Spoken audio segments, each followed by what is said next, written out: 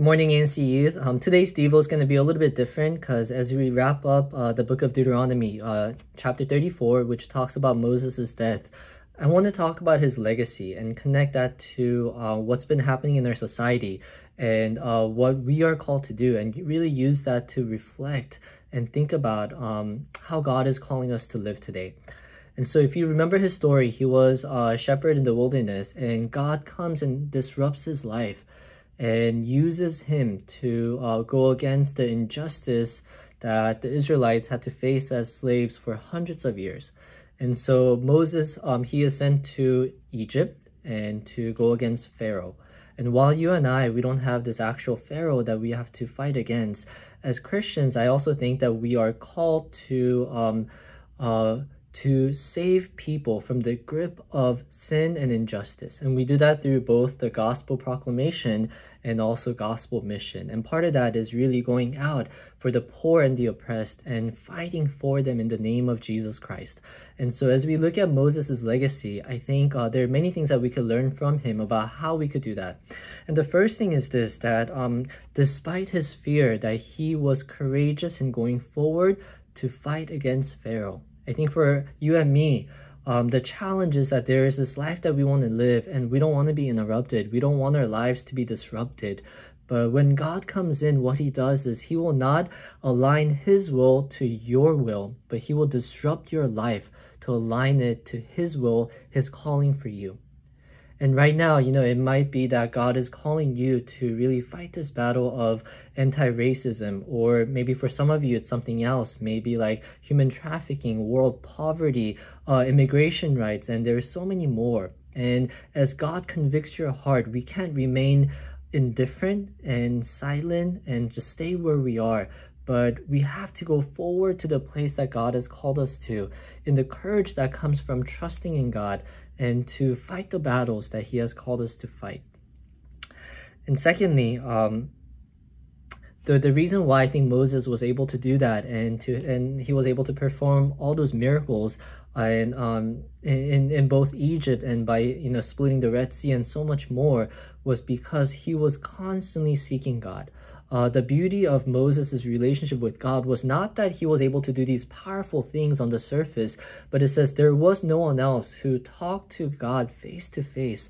There was this intimacy, and you know Moses was a man who constantly sought after God in that. And I want to ask you, as you are being bombarded with everything that's been going on, are you seeking the Lord? Is your heart before you try to do something? Are you coming before God in word and prayer and asking God, God, what is your heart? God, I know you're sovereign. There are questions I have, but I want to come and I want to know your heart and I want to obey your will. I want to be your instrument of love and truth. I want to be your hands and feet. Would you use me in this society? Would you use me in the context that you have placed me in as a prophet and as, as, as a follower of Jesus Christ? So are you coming to God in that way, seeking Him and, and seeking that intimacy? Because if not, then whatever we do, it's going to end up being our agenda, our plan, our wishes, our form of justice. But those will all fall short. Because ultimately, as sinners, um, those things will not bring about this vision that we have because that only comes through God and His sovereign orchestration and through faithful people of God in obedience, sacrificing their lives for those causes. And so it starts with being intimate with God. And so I, and so that's the second thing. But the last thing is that Moses, he was extremely patient and humble. Uh, there were times when the Israelites, they went against Moses and the Israelites, they rebelled against God. So God was about to destroy them.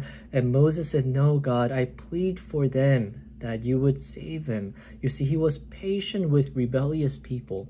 And for some of us today, as we uh, seek God's truth, maybe there are those in our lives, even in our youth group, who disagree with the things that we know are true in the Bible. And our response in the gospel and in the truth is not to accuse, blame, or fight them, but to Share the truth in love, in patience, in mercy and grace as we remember that that's been done for you and me.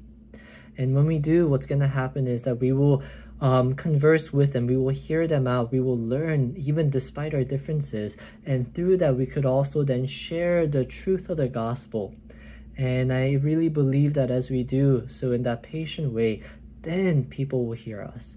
Not when we share the truth in pride and judgment, but rather when we deliver the truth in, in humble grace, on humble mercy, in humble uh, patience um, that, that God has shown to us. And so I hope that all of us today, as we um, just experience so much in this season, um, that we would fight courageously against the injustice that we are becoming aware of and that we will do so by uh, just being intimate with God first, by seeking God, His Word, His truth, and His love. And lastly, that we will do so in patient mercy and humble, hum- humble mercy as Christ did for you and me. Have a good day, guys.